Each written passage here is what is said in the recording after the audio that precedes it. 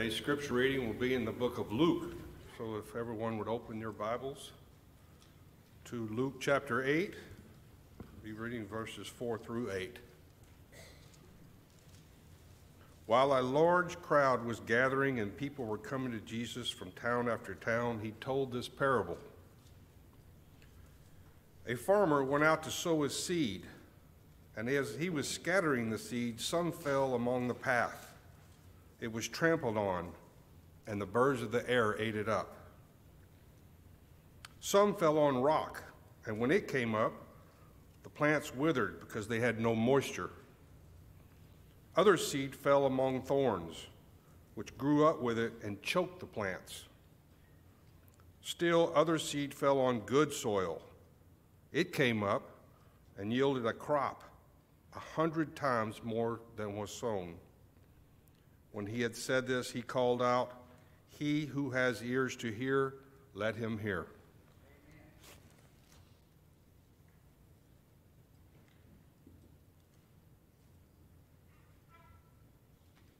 Thanks, Bill. Well, it's good to see everyone today.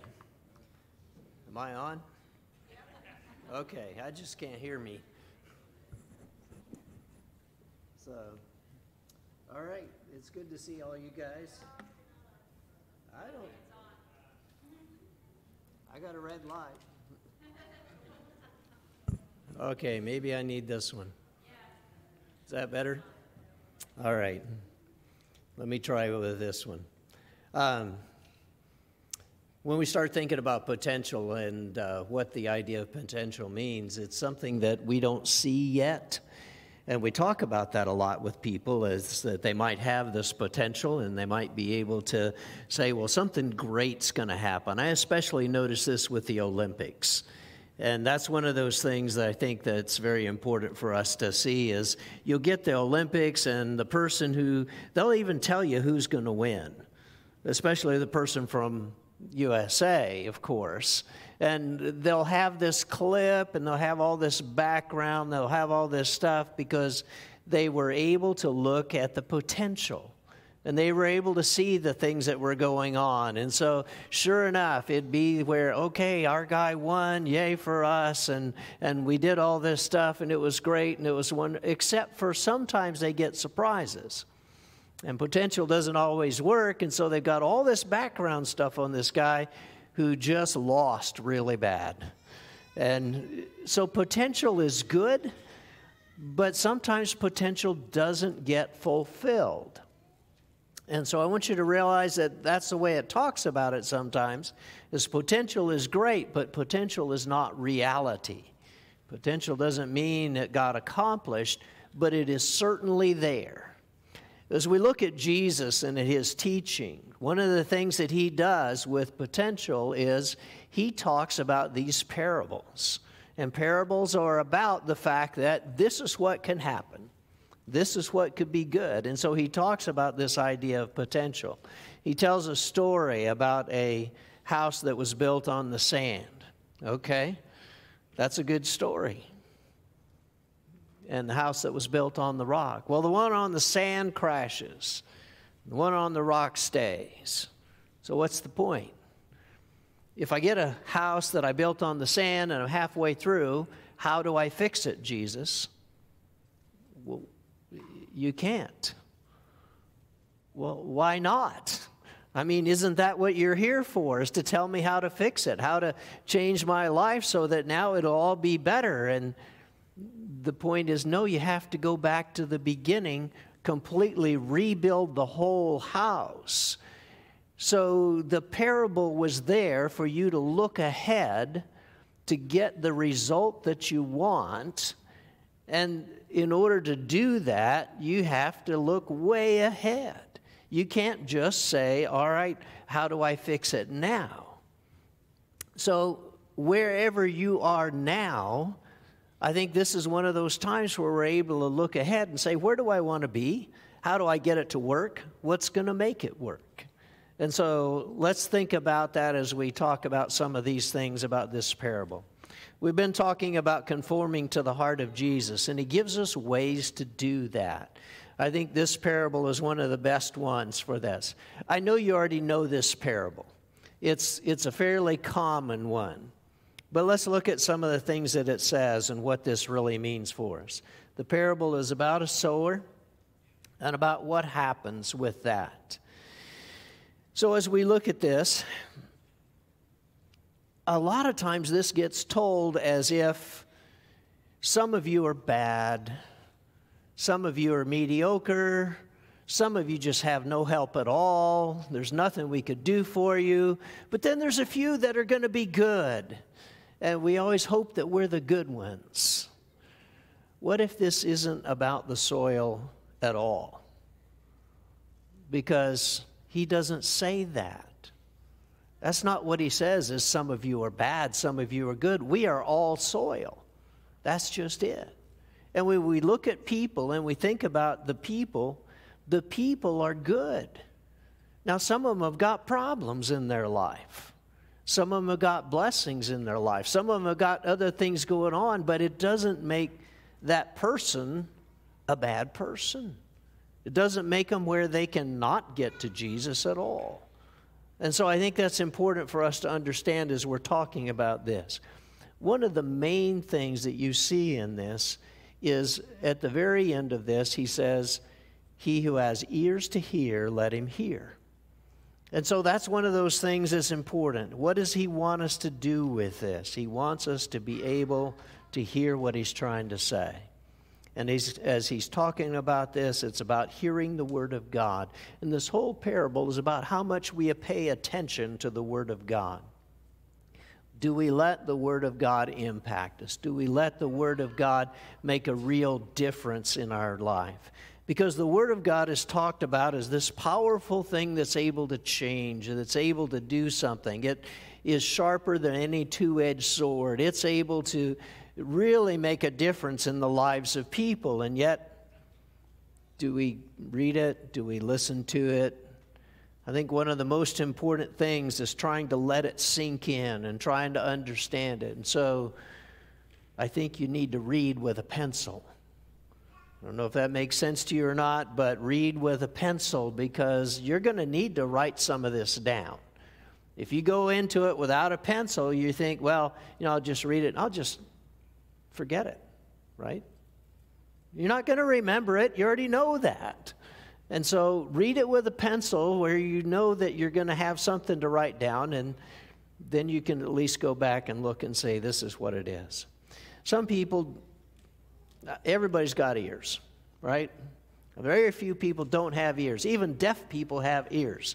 So when he says, the one who has ears to hear, let him hear, he's meaning let it sink into your heart. Let it make a difference in your life. Let it be something that's going to be there for you that really enables you to see this. Because a lot of times you start on a Bible passage or you start a sermon and people hear, wah, wah, wah, wah, wah, wah, wah, wah, wah. And that's all they hear is, yeah, we're off on some Bible thing that I don't know anything out. It isn't easy to hear. I just want to start with that. It is not easy to hear because there are some words that we don't understand. And they're normal Bible words, but if we didn't grow up with those, those aren't such normal words for us anymore. There is a lot of culture you have to understand. Uh, their culture was not anything like our culture.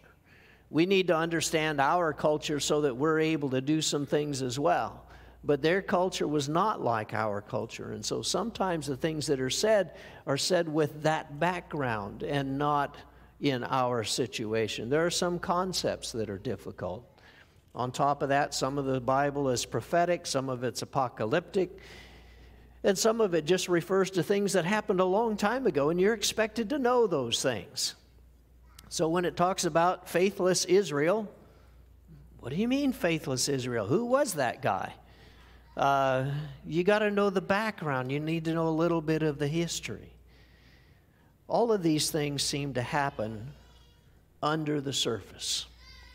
When you're talking about parables, it seems like it's under the surface. So, since we're talking about planting, when you go out and you plant your garden, it looks something like this. You've got the sower, he's able to sow, he's able to be able to spread some seed. But then when you look at the seed that he's spread, or when we plant our garden, it looks more like this, right? That's what it looks like on the first day, and on the second day, and on the third day. And you wonder, is anything going on under there? It makes you want to kind of dig up a couple, see if anything's happening. If it's this way after six months, you can go, well, maybe nothing happened. Because what you're waiting for is something to happen underneath the ground. You can't even see it. And I think that's a lot of what Christianity is like. It happens underneath the ground first. And then we're able to see it as it comes out in the life of people. But if you don't have it happening underneath the ground first, it's not going to come out in the lives of other people. And we look at them and we wonder, well, what happened? Where did it go wrong? Well, it's because of the unseen things that weren't there. And that's really what I think he's talking about as he talks about this whole thing. Now, sometimes we get blamed for this, and this is seen as an evangelism parable. I think this is a parable about people. And we can say it's somebody's fault, but I think this is about all of us and just about where we are. And it's really not meant to be about evangelism. This is meant to be about our own development. And so when we look at the explanation of Jesus, I think that's an important thing to see. Jesus is the sower, He's the one who goes out to sow. The seed is the Word of God. Some seed falls on the path, it gets trampled underfoot, it gets eaten, it's gone. There's no hope. It's done. Some seed falls on the rocky, and it grows up, but it withers because there's no moisture. Some seed falls on the thorns, and the thorns grew up, they choke it out. Some seed falls on the good soil, and it yields a hundredfold. That's the basic parable. And then he who has ears to hear, let him hear. So, what do you hear in all of that? One of the best things is Jesus tells us what he meant by that. Because we can come up with a lot of things about what he meant by that, what we think it ought to mean, how we would interpret that. This is what it means, and you know what? Let's look at what Jesus says it means. That's really more to the point. So in Luke chapter 8, starting in verse 9, he says, When his disciples asked him what the parable meant, which is good hope for us, right? Because they didn't get it either. It's like, well, what does this mean? He said, To you it has been given to know the secrets of the kingdom of God. But for others they are in parables, so that seeing they may not see, and hearing they may not understand.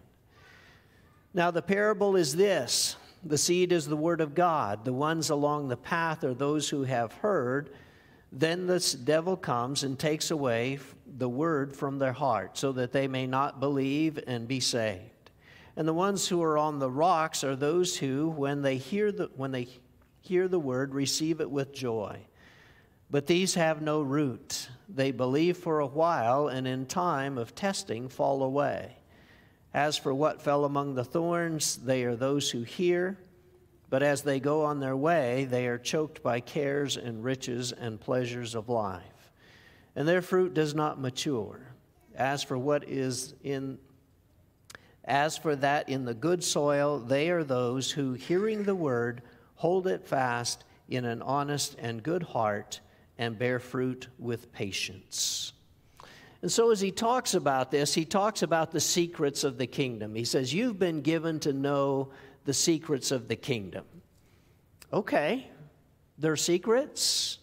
And so, as he talks to the disciples, you're able to know. In fact, it's said so that people are able to know. Wouldn't you want everyone to know the secrets of the kingdom? And yet, he realizes some people are not going to get it. And so, how can we be those people who get it. We're the ones who know the secret. Well, it's just all about what's underneath the ground. It's not about what you see on top. It's about the secret of the kingdom being what happens underneath. And so I think it's conversations like this where he has recorded, here's what I meant. And that's difficult enough. Everyone hears the word of God. All of the soils hear the word of God, every single one of them. The seed is the word of God. Every single person heard the word of God. Every single person knew what that was. And so the point is what do we get out of what we hear? Do we get something out of it? And this is the first reason sometimes that people won't listen is, you know, he's talking about a situation where, well, yeah, we heard it. And by the time you get home today, you won't even remember what this was about. So let's talk about it a little bit and give you some idea. The first one, he falls on the path or on the, the road or uh, on something hard. The seed doesn't sink in. He says the devil comes and snatches it away. These are not devil birds. Uh, that's not what I was trying to say at all, but you know, the birds come and they eat it, and basically it's gone. The seed was there. They heard the Bible, they heard the gospel, they saw it, but they had no pencil. All right? That's what happened. And it just it, just went. They read it, they heard it, and now it just it just didn't sink in anywhere. Their life doesn't change. They don't look like that, and and you know, they couldn't even tell you what it was that they heard. Did you read the Bible? Yeah, I read it. Have you ever done that? Get halfway down the page and you realize you don't know anything about what you've read? Uh, you just eyes are moving, going down, and sometimes the Bible's like that. He says you need to see it and understand what it is. So some seed falls on the path. Nothing happens without the Word of God getting into your life. That's the whole point. The Word of God has got to get into your life. Somehow, you've got to hear it, you've got to bring it in, you've got to break it down. It, that's the first breakdown point. If we don't get the Word of God into our life where we can see it and understand it, nothing's going to happen. It's like the garden that you planted, it's going to be blank on top. Nothing's coming up. So we need time to be able to hear. And that's one of those things that's important. When you get to that stage where a person has just kind of had it snatched away, they heard it, but they don't know what it meant, they have to start there. You can't get further down, you have to start there. They need to go back and hear it again. Well, how are they going to do that? A lot of times it happens in some kind of tragedy. That's what you'll see. Is that's when they got really serious about God.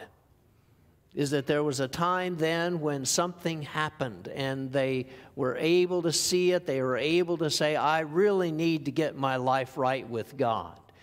They didn't know that before. I mean, they know it, but, you know, we don't have to do it yet. And so it's those kind of times when we see it the most. The second one's most important. That's the idea of rocks. They hear the word, they keep it, it enters their heart, they have joy about it. They come and they're so excited to be at church, they're excited to do everything, and they're so great to be here, and there's nothing underneath. It says they have no root, there's no moisture because the rock is there. We realize that if you have tall root, tall trees, you're going to need a big root system to hold that up. There's a lot of times where it's a, just about the underneath, it's about the root that's there first. Have you seen cut flowers? They're great. We like to get flowers, tulips that open up. They're magical, right? It looks like it would work, doesn't it? Because after all, they get that little packet in there. You know, it's all about the little packet because you can take them and you can put them in water, you cut the ends off, and then that magic little packet, you put it that in and stir your water all around, and man, they're going to last for a long time. Why do they die? It looks like they're good. In fact, you have to refill the water, right? Because they're sucking up the water. And then gradually they open and they open and they open and the petals fall. And you know, if you still got them, they're not coming back. They're not going to get there because there's no root. It doesn't mean they can't suck up water. It doesn't mean they can't take care of the flower that's already there. And it looks great and it looks wonderful and they are so amazing to look at and smell because they're so beautiful. They're dying. And they're not going to stay because there's no root. They don't get any taller. The water they suck up is just to be able to take care of the bulb and the flower that's already there. And a lot of times I think we're like this. We're there, we're excited. We're wonderful. We're great. But if you don't deal with the underneath, with the root parts, it's not going to stay. Eventually, they die. He talks about this as if it's times of testing that comes in, as if it's difficulties that come into your life and we get temptations or we get hard things that happen in our life. Can you do anything about the hard things that happen in your life? Sometimes you can. Sometimes they were because we made bad decisions. Sometimes they were because we didn't do things right. But you know what? A lot of times it's not because we did anything wrong. It's not because of anything else at all. It's because life is hard. And there are some people who have a real difficult time with this. And so I don't know that we can blame them for it and say, well, it's your fault you're not doing this, especially when we begin to look at some of the people in the Bible. You look at Joseph, and he was sold into slavery, he's put in prison, he's forced to be in charge of a government food program. That sounds like a nightmare to me. Uh, all kinds of things. But he had one thing he had a vision from God that said, Here's what's going to happen. All of your brothers and sisters and mother and father are going to bow down to you. And he hung on to that. He believed that. He had that word of God in his life from the very beginning. Did he make all of those hard things in his life? No. Did he fall away because of the hard things? No. Somehow he developed a root in his life that is able to make him stand. Moses is a leader who has to lead a complaining bunch of people out across a desert to a new land. He tried to get out of that problem. Some problems you just cannot avoid. They are going to be in your life and they're going to be there, and you just have to do them, and they come from God. But He has the law, He has the Word of God, He has God talking to him in His ear. And so both of them had either the Word or a dream or a vision. David has got all kinds of problems in his life. He's being chased by a king after he's anointed as a king. We see the wars and the fighting and the battles that go on, but he has the Word of God in his heart because he writes a lot of this. And so it's not just the Word that was there for him to read, but he has the pencil. He's the one who writes it down because God is giving him this. And then we see Jesus, the time of his temptation, he's starving to death not Jesus' fault, even though he intentionally goes to the wilderness, but he goes there to be tempted. And every single one of his answers comes back Word of God, Word of God, Word of God. That's his answer to everything. That's how you deal with rocks, and he has this. He says the main thing develop a root. That's what's most important. We don't always get to have good soil like this. Develop a root, however you can. It's going to be much harder for the people who have greater difficulties. I don't want to condemn them. I don't want to say they'll never make it. But it's going to be much more difficult for them. And so he's giving you this to say, when you see this happen, you just realize how hard it is. Because this is a normal tendency. If you don't have the root, you don't get the rest of it. We need the root to be able to have the kind of strength we have to have to go with God. Thorns and weeds, they choke it out. They choke out anything that we had. We're just too busy. We have too many good things. We can't get out of it. And we just have to do all these things. And so when we come to church, we don't get anything out of that either. We get bored by it because there's all these other things going on. They've stolen our attention, they've taken everything away. He lists three things cares, riches, and pleasures. Those three things. Well, riches would be nice, wouldn't it? Or pleasure would be nice, but not if it's going to take you away from God. And yet, each one of those things can stand in the way between us and God. What happens is they get so focused on everything else around them that, yeah, they're here, they're still coming to church, but it, it just doesn't do much for them because the Word of God isn't in their heart again. You have to study with that pencil. They just don't sound like Christians. They don't act like Christians. They don't feel like Christians when they're away from here, but they come and they try, and it doesn't mean that they fall away, but it means it's just it's difficult for them because they have so much else going on. Do you ever have one of those smart kids? Yeah, me either. But some people have smart kids. And it depends on what you do with them, right? You can treat them like they're normal kids, or you can have one that you're going to, boy, this kid's going to be great. He's going to be wonderful. And you get all these coaches for them, and you get special training for them. And, you know, it's more focused on the coaching and the special training than it ever is on the Word of God. And I think that's important. We can be so smart and so gifted and so talented sometimes that we don't focus on the right thing. And so we need to be able to focus on the Word of God and on what that does for us.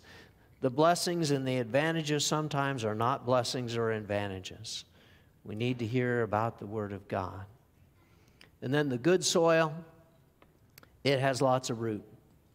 It has lots of place where it's able to grow.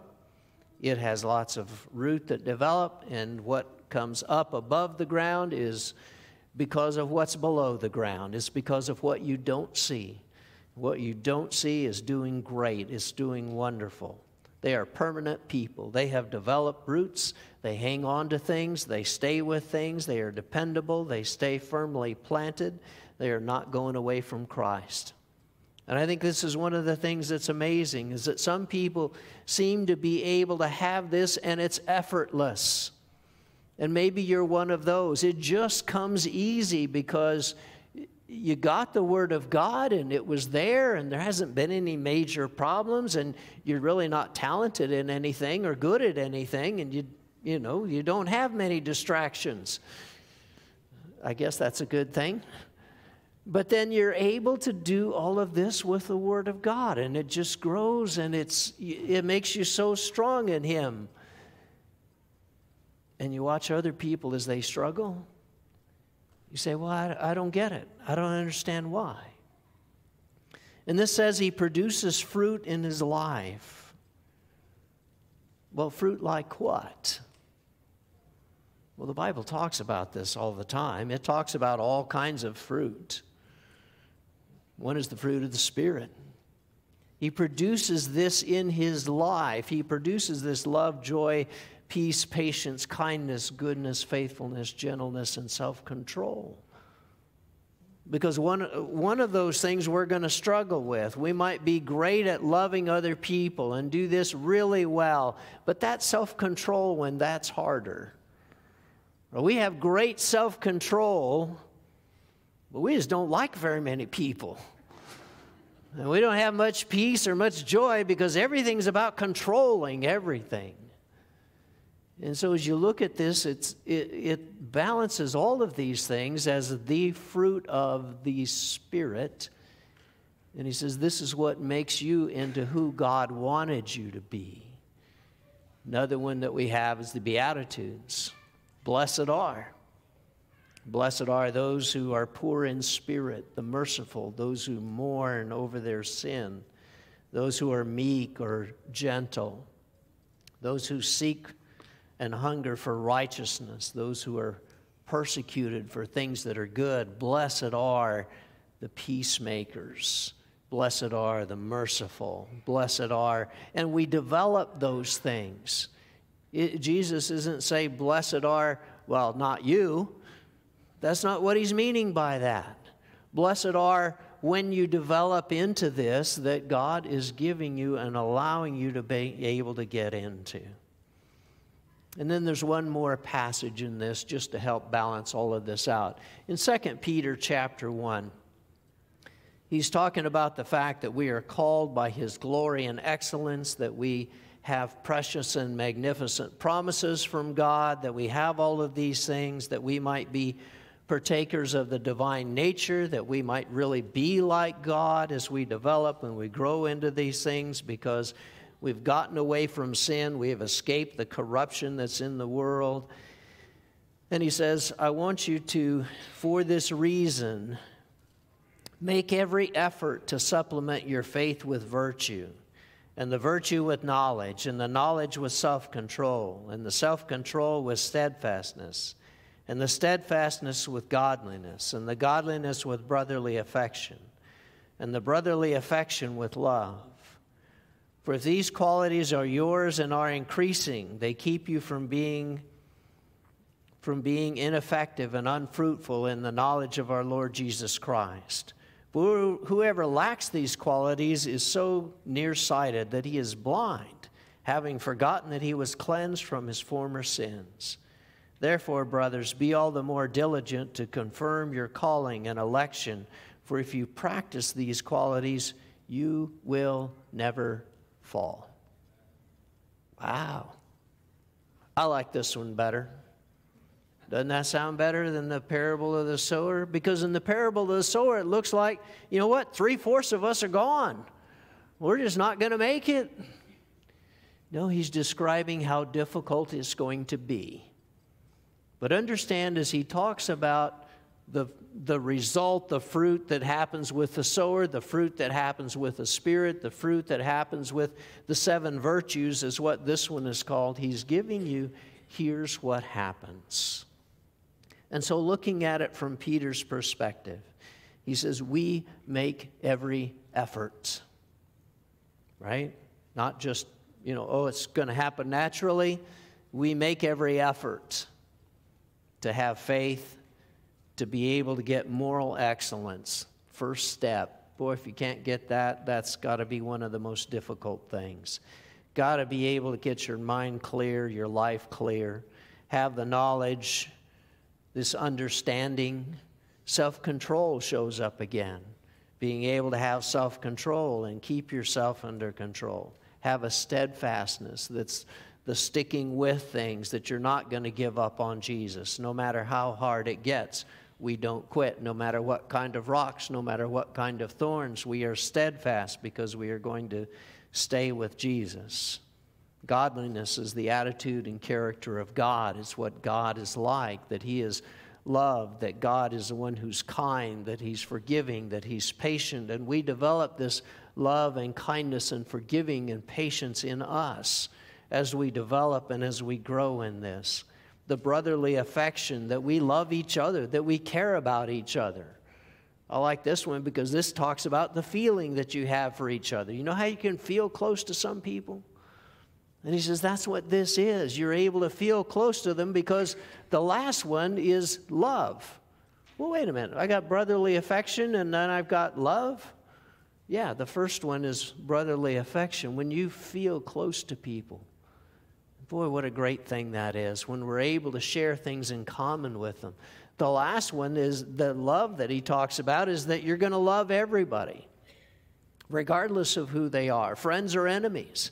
Doesn't have to do with any emotion at all. The other one did. And so he says, You develop each one of these things. And whoever lacks this fruit, the one who refuses to develop,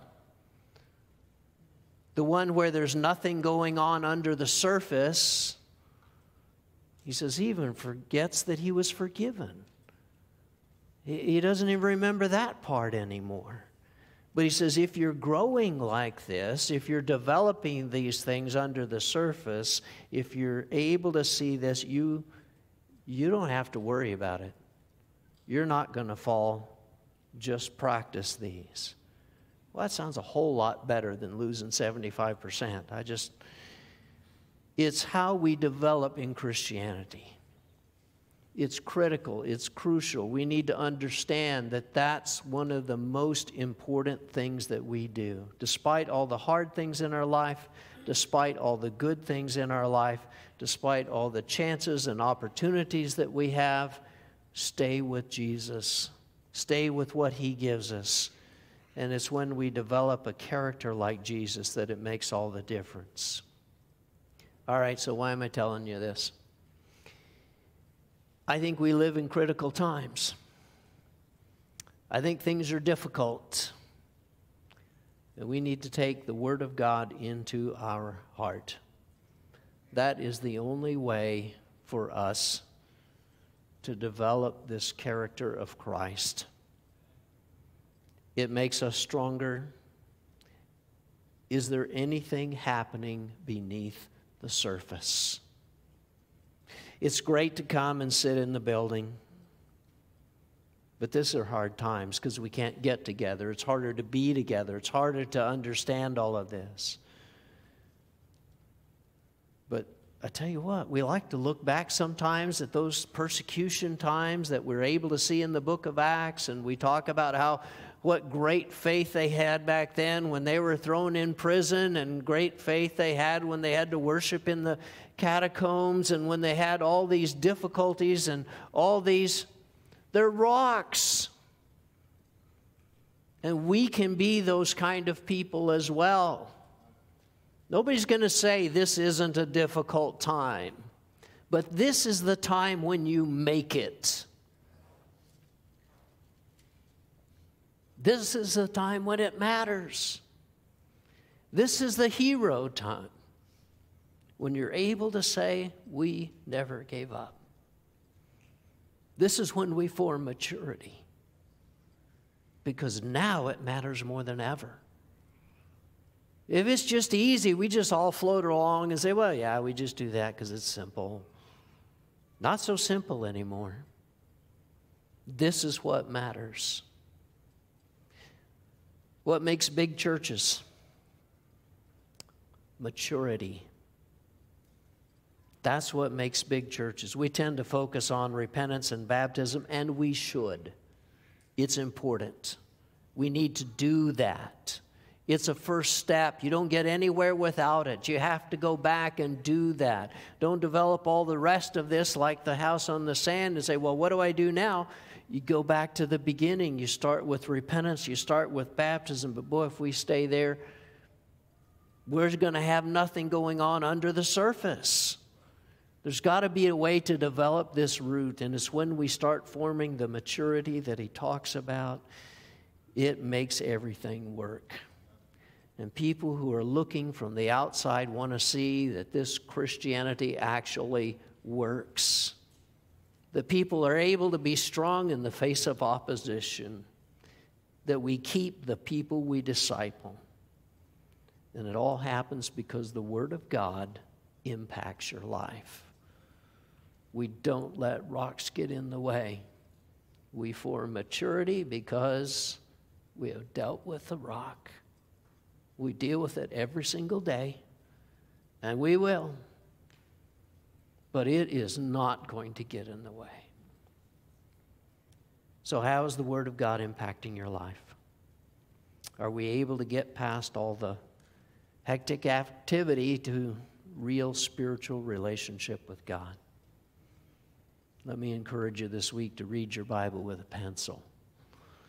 Maybe you just need to start again and just say, I want to do this. We need prayers to begin that. Or maybe you still need the repentance and the baptism. Would you come while we stand and sing and encourage each other?